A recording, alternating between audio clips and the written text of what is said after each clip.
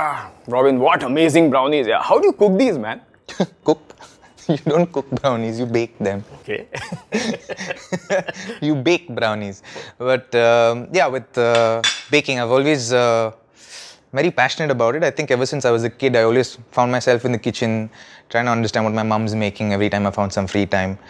But uh, it is something I'm very passionate about. I've uh, made a few stuff for the for the KKR side as well, and um, you know, it's one of the reasons we're so successful. The secret of my brownies.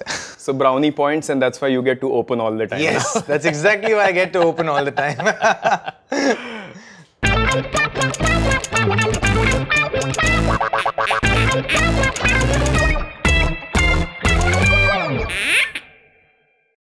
So Robbie, you've always been this aggressive player, walking down the track. You were called walking assassin also, if I'm not mistaken. With this kind of attitude, I'm sure you'd had a lot of problems on the pitch with other cricketers as well, right? Quite a few growing up, yes.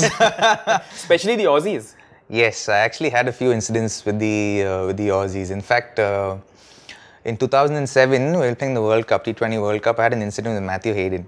Uh, it's quite a funny one. Um, as in, I thought it was funny because uh, um, when I went in a bat, uh, Matthew Hayden was sledging me a lot. And I took it in my stride, but I'm the kind of guy who takes it in my stride, but make sure I give it back when I'm, you know, when I'm fielding. So when he came in a bat, I was giving it to him, and he didn't like it.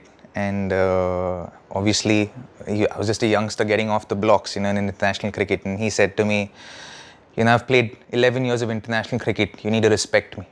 so I said to him, uh, Haydos, uh, you, I think you, you kind of forget something. You know, respect isn't demanded; it's earned. Ooh, and wow, you took on Matthew Hayden. I think that hit the uh, that hit a soft spot with him. Didn't hear a word from him after that. Uh, a couple of hours later, we had someone castle him uh, and get him bowled. So you know, it all works. It's good fun. So another incident that happened was in India. Uh, it was at Symonds actually. So we were playing in Hyderabad and I was batting, and then he said to me, "Hey, monkey! Hey, monkey!" I looked at him. I was batting. I looked at him and said. Simo, have you had a look in the mirror lately? so, this actually happened. It actually happened. I mean, I was there at Sydney Gate. Yeah. Millions of man hours lost.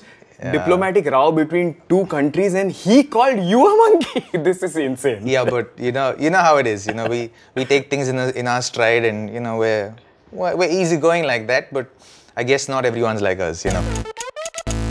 So let's talk about your batting. Sure. The Robbie in the past the goon in the crease versus the calm, composed dominator of today. What is this change in your batting here?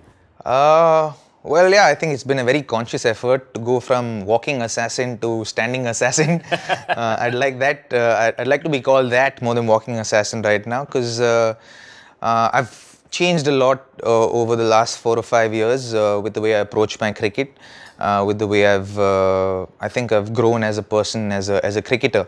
I've had to uh, deconstruct my batting completely and reconstruct myself completely. And that's been one phenomenal journey, which I'm eternally grateful for.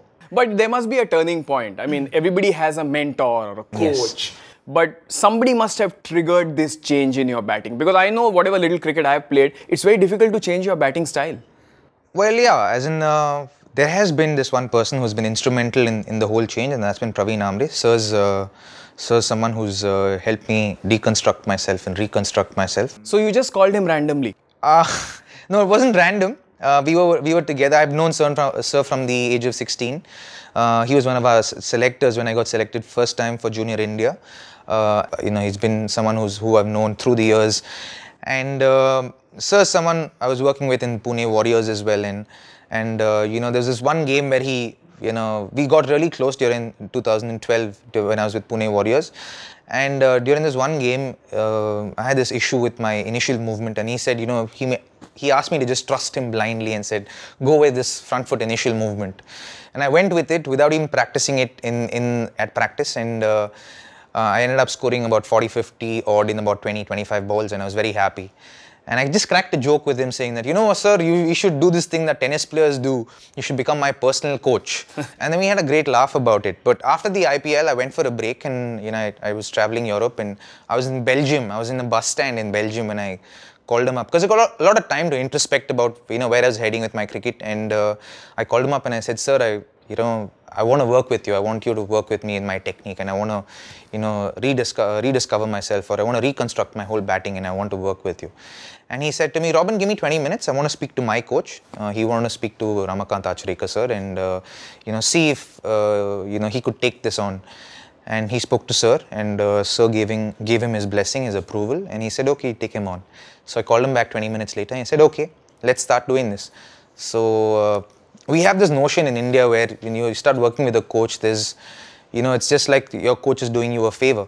And I didn't want that to be the case because he's going to be adding a lot of value to my life. So I said, sir, uh, uh, you know, let's let's discuss the financials. And he said, Robin, I'll, I'll, never forget this. He said, Robin, if you give me one rupee Guru Dakshina, that's more than enough. Wow. I said, sir, that is something I cannot do. Uh, you're adding value to my life, and uh, let's figure something out. And we figured whatever financials we had to figure out. And 1st of July 2012, that's when I started deconstructing myself.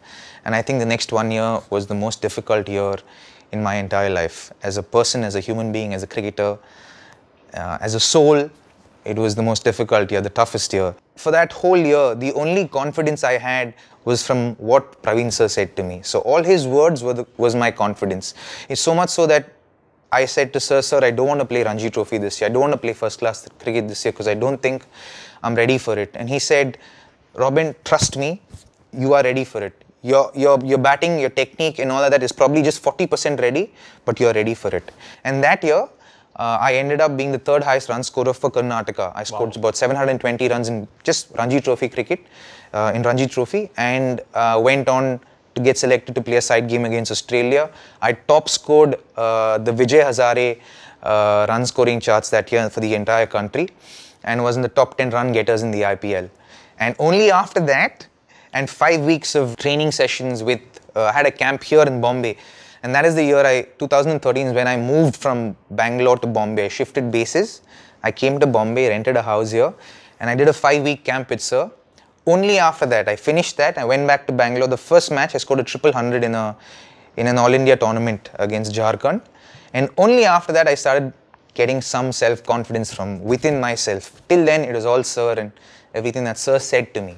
Wow. So all my confidence came from Sir. But what is clearly emerging from this batting reconstruction, deconstruction pattern was that emotionally you were not in the right space sometime during 2012. Oh, because was... uh, so what was happening? What went what what went wrong or what was going right? I mean, tell us something uh, about that. So it started when I got dropped from the Indian team.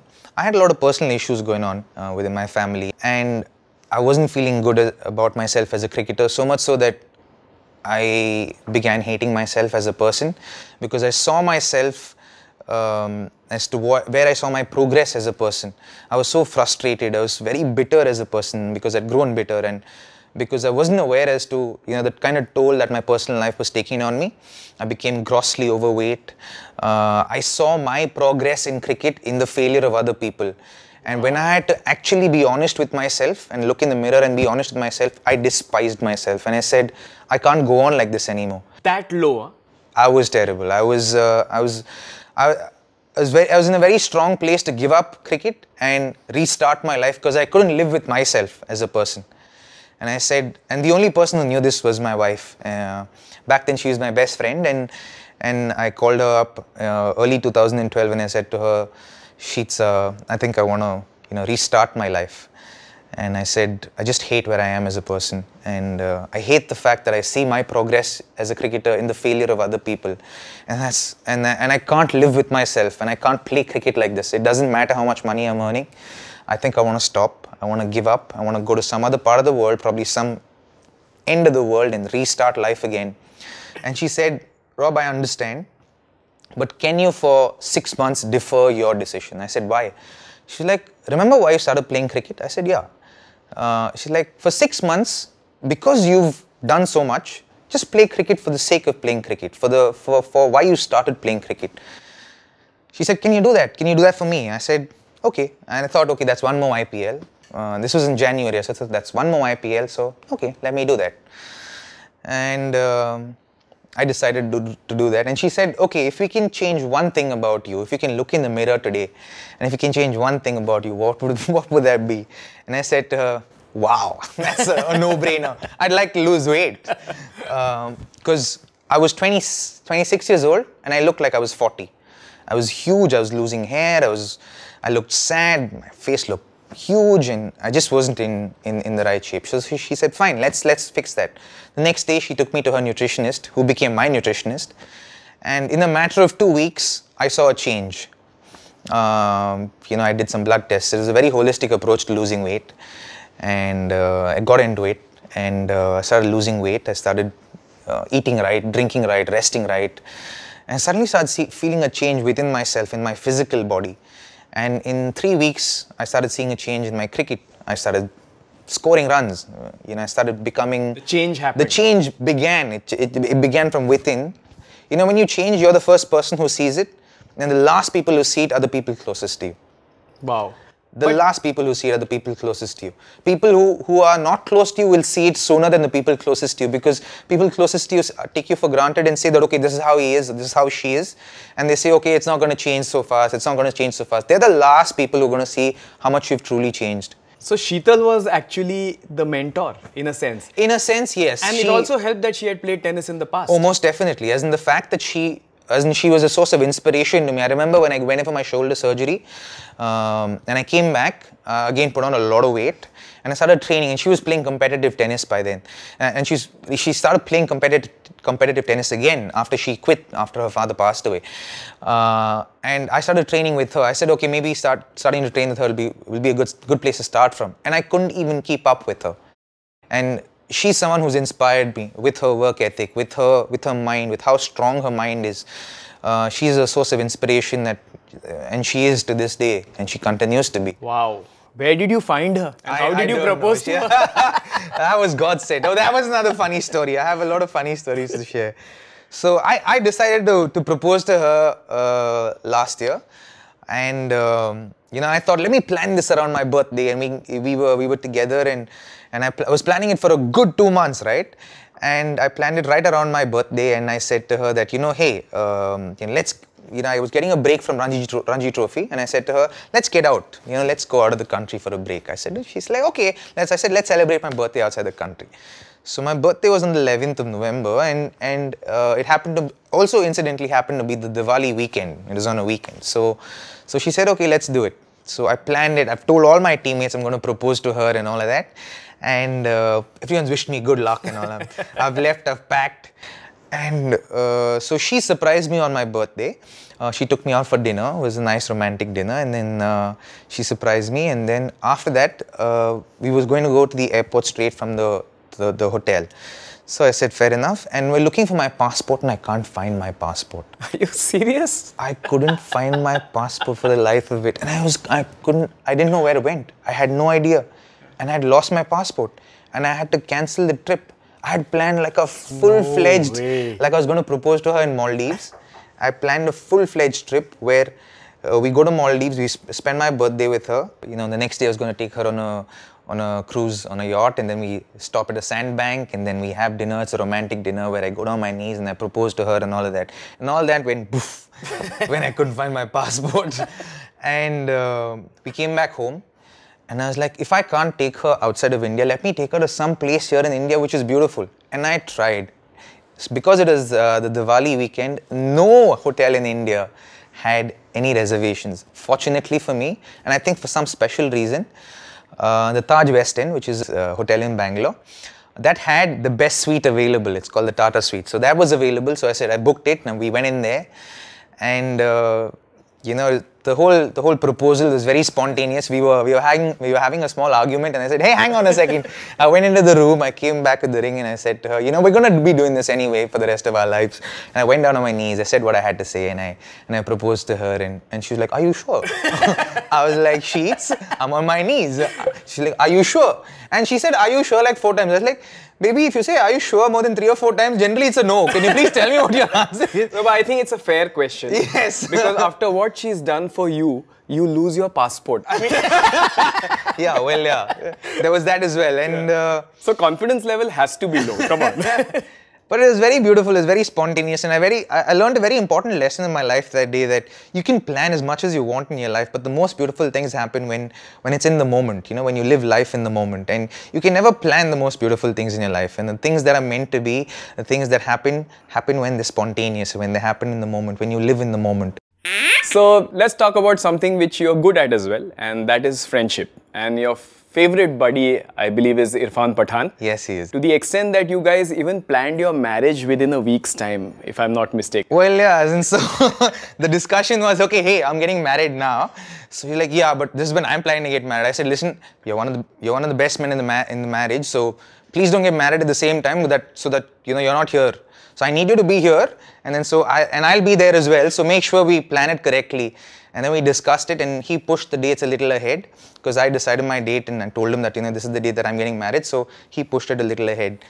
But we're so close, so much so that you know when we when we are playing together and whenever we're together, we we consider ourselves as husband and wife, and and that's what people have called us. So Any interesting incidents of husband and wife moments? Too many, way too many, way Tell too us at least one, yeah. Uh, there'll be there'll be some incidents that even make our wives uncomfortable. but uh, uh, we were playing the Asia Cup in Pakistan in 2008, and uh, Yusuf was also there, and uh, Irfan used to bug me. uh, I think I'd, I was sitting out in that game, and uh, um, we were batting, and he was just bugging me. So every time I went close to food, he'd bug me. And he'd keep teasing me about how I was overweight, and he'd keep bugging me, picking on, picking on me, picking on me, picking on me. And then one, that one day, I lost the plot, and I abused him. He just looked at me like like with a stone cold look. He looked at me like, and then he shut down. He didn't talk to me. so I was also obsessed. I said, you know, chuck it. I don't want to talk to him today. So the next day I met him in the gym. I said, I said, hey, good morning, bro. And he just looked at me that stone cold look, and I said, he didn't say anything. I was like, what's wrong with this guy?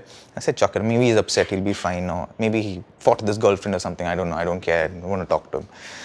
And the next day, uh, I met him again. Uh, we were going. Yeah, I met him at the ground. We, we met at the ground and said, hey, bro. Then he said, not saying anything. Like, क्या हुआ? As in, बात क्यों नहीं कर रहा है? He didn't say anything. He's sitting down like this. He's just not looking at me. Put his, put his iPod on and he's not, not talking to me. So I said, okay, leave him. Maybe he needs a couple of days. And that generally happens sometimes when we In fight. husband and wife Yeah, so we just give, you know, we give each other space. And a day later, maybe two days later, I met him in the lift. I said, and this time I was like, okay, I'm not going to go in, you know, son, not going to go into him and talk to him, give in and all that. So I said, okay, let me, if, if I ever bump into him, I'll say hi and just, you know, be formal. Hmm. So I bumped into him in the lift. And um, sure enough, I said, morning. I didn't even say bro or anything. I said, morning. And then he didn't say anything. Then I was like, I just kept quiet. The lift was going down to the gym.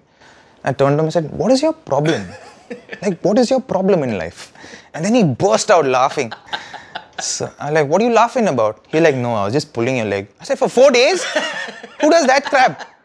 For four days you pull my leg? Oh god, that's too funny. So, and then he, and then he, you know, and then he says it's your fault.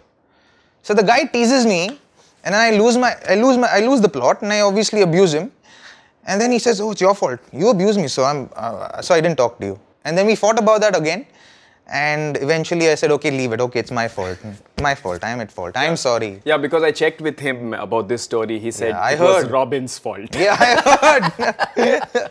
I heard he said But that. one thing he says about you is that one of the things that uh, is amazing about uh, Robin Uthappa is the fact that when he starts laughing, it's a very infectious laughter. That can be very embarrassing at times. Uh, infectious is a good thing, but uh, not when not when it's embarrassing for me and people around me. I had this incident that happened to me uh, when I was with a friend of mine. So I don't know. If, uh, I'm sure. I'm sure you'll you'll know Shikha Tandon. She used to be a former Olympic athlete. So we went out for a movie. We went out to see Pink Panther. And um, so I was sitting here. In fact, she invited me for the movie. I was sitting here. sit- s- was sitting next to me, and a bunch of friends passed us. And there was uh, a girl and her mother sitting next next to me on my right, and I was letting it rip. that movie is hilarious, and I was laughing my head off. And uh, I just got this weird vibe from this girl. And I said to Shikha during the in- interval, I said to her, Shiks, why don't you sit this side? I'll sit on the other side because I had getting this weird vibe from this girl. So Shikha sat next to her. She just sat next to her. The girl turned to her and said, Thank you so much. His laugh was killing me. Like, oh my God. And what was more embarrassing uh, was that after the movie, her mom recognized me, and this girl comes up to me and she said, "Can I have your autograph, please?" I'm like, "What?" And in the moment, I just signed the autograph and I gave it to her, and I'm like, "What am I doing?" she just she just said I was a pain in the neck to her, and then I've signed her an autograph and given it to her. But yeah, as in after that, I've been very careful about, you know, when I'm laughing and letting myself go, I'm making sure that I'm with people that I know and you know I'm in a safe environment.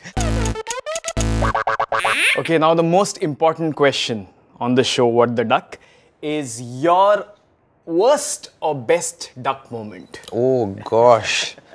I have a very painful one actually. So I made my debut in 2006 in April and uh, I scored, you know, it was a record for, for, for the highest uh, score on, by an Indian on debut. And uh, we went to pa- Abu Dhabi after that. We, we played Pakistan in a couple of uh, one days. I played the first one day. I got dropped in the second one day. I didn't score. I scored 12 or something in the second one day. But sec- my second one day. Then we went to West Indies where I didn't play the first four matches. I was dropped from. I was not. I was not in the playing 11. And uh, I played the. I played the last match of the tournament and I got out the first ball to a non-regular bowler. I got out to Wavell Hinds. first ball of the match and that easily was the worst duck of my life because I got dropped from the Indian team after that. It was extremely painful, and uh, I had to come back to domestic cricket, score 850 runs in domestic cricket to, to play for India again. But I don't think any youngster who who uh, you know uh, got a start like that uh, didn't get a run. Wow. You know, so- Most expensive duck in human history. yeah, I think you know that's something that really bites me. Because uh, because of that, I think I didn't get a, a, a- a run. Um, but yeah, so that definitely is my most painful duck. we have a gift for you. Make you happy. Here it is. oh, thank you. Thank you very much. This is very this is very cool. Yeah, what is the number five? Tell me. Yeah, what is the number five all about? Hmm. Is the number of ducks you scored in your life? Holy crap! I was gonna say that's my wife's lucky number. Fair enough. Fair enough. It's Fair still enough. good. Thank you very much. It's very sweet of you all. Yes. Thank you. Great to have you as well, Robin. Thank you. Cheers. One of the most important characters on the cricket field is the umpire. The most hated umpire in India was Steve Bucknor because for some strange reason, his passion was to give Tendulkar out LBW. Whenever Buckner was on the cricket field, you got an impression he was sleeping throughout the match and woke up only when somebody appealed. Here's Steve.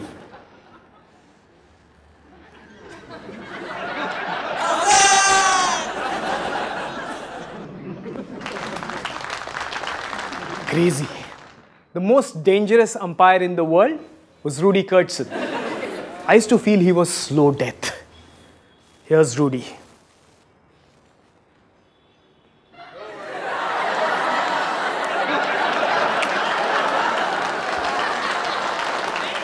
Many batsmen told me we would rather get out than face this trauma. The funniest umpire in the world was R.C. Sharma. This is what he did once. How was that?